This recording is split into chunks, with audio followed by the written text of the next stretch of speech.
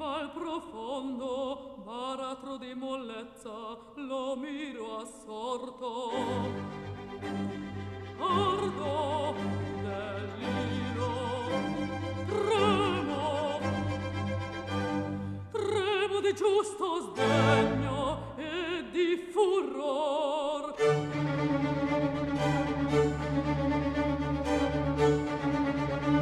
Si tenti con prove